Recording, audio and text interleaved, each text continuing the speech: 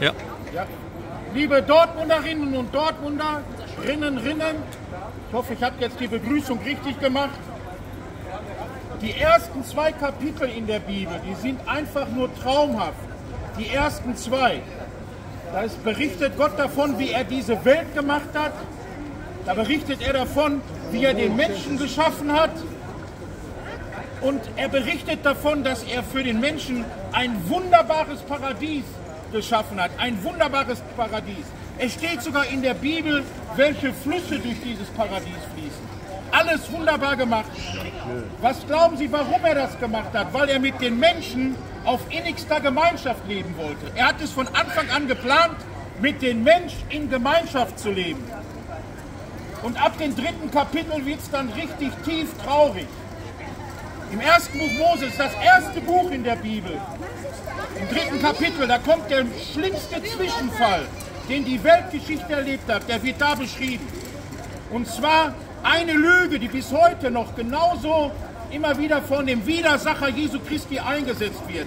Er flößt den Menschen ein, sollte Gott gemacht, gesagt haben, sollte Gott gesagt haben. Was war vorher passiert? Gott hat die Anweisung gegeben, dass von den einen Baum nicht zu essen sei. Die Anweisung hat er gegeben. Klar und deutlich. Und dann kommt der Widersacher und sagt, sollte Gott gesagt haben, dass ihr von diesem Baum nicht essen sollt. Und dann zieht er noch einen Hauptgrund hinterher und sagt, mitnichten, ihr werdet so sein wie Gott. Und wissen Sie, das ist bis heute so geblieben. Das zieht sich wie ein roter Faden durch diese Weltgeschichte. Und wenn Sie sagen, woran machst du das fest, Arno? Ja, damals war es der Baum und heute haben wir das anders. Sollte Gott wirklich gesagt haben, dass er Mann und Frau gemacht hat. Mitnichten hat er das gesagt. Wir bestimmen unser Geschlecht selbst. Mitnichten hat er zwei Geschlechter geschaffen. Mitnichten. Also wieder von vorne. Wir lernen einfach nicht dazu. Wieder eine neue Kriegserklärung gegenüber dem Gott der Schöpfung, so wie die Bibel den Gott beschreibt, den dreieinigen heiligen Gott. Wir wollen den Krieg erklären. Mitnichten hat er den Menschen gemacht.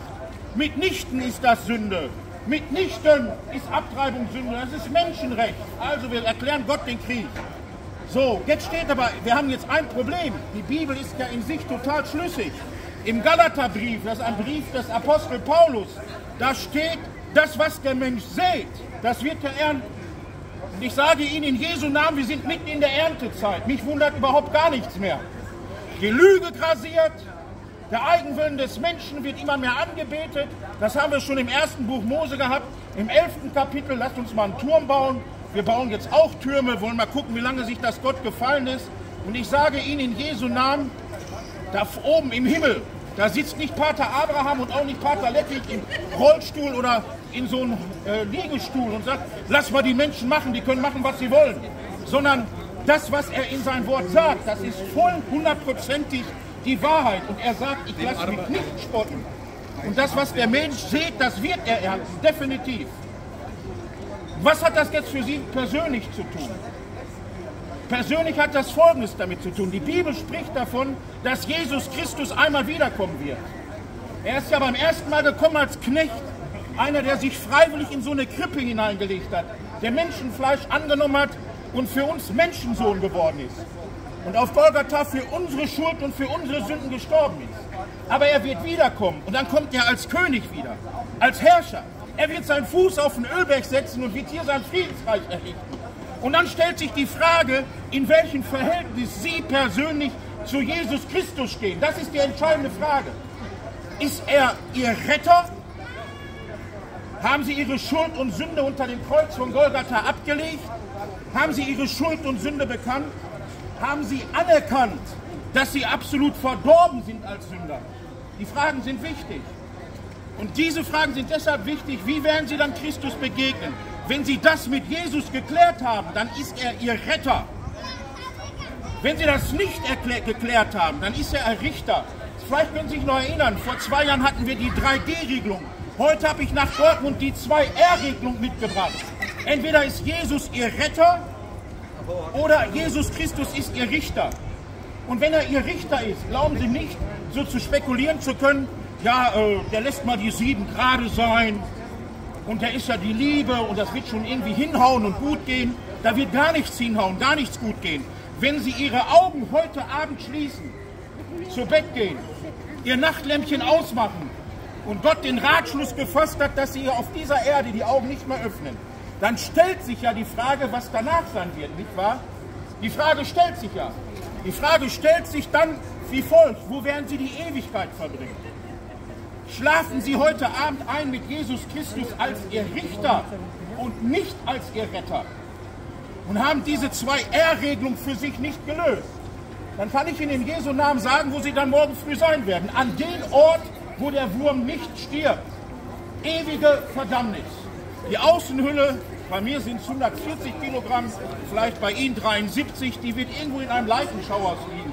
Und so mancher wird sagen, vielleicht die Oma, Mensch, der sieht ganz toll aus, haben sie irgendwie gut hingekriegt. Aber die Frage, die da ist, wo ist ihre Seele? Wo wird die Seele die Ewigkeit verbringen? Regeln Sie die 2R-Regelung.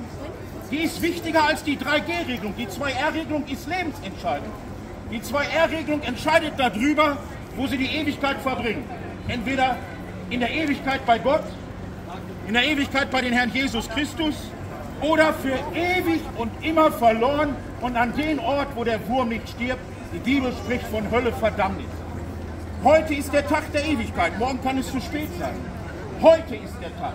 Ob Sie morgen früh noch leben, weiß kein Mensch. Ob ich morgen früh oder morgen um 16 Uhr noch äh, unter den Lebenden bin, weiß ich auch nicht.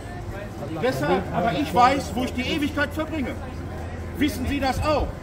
Und wenn Sie jetzt sagen, ja, Arno, weiß ich auch, in der Hölle, da ist immer Party, da wird richtig gesoffen und die Fete, der wird da richtig durchgeknallt, da ist ein Bild, das kann man vielleicht, vielleicht noch irgendwo in so einem Comicsheft nachlesen oder äh, irgendwo in einer anderen Zeitung. Nur ein Problem steht nicht in der Schrift. Dieser Ort beschreibt die Bibel, da ist ewige Qual. Und darum, in Jesu Namen, regeln Sie die zwei R-Regelung. Jesus der Retter oder Jesus der Richter. Amen.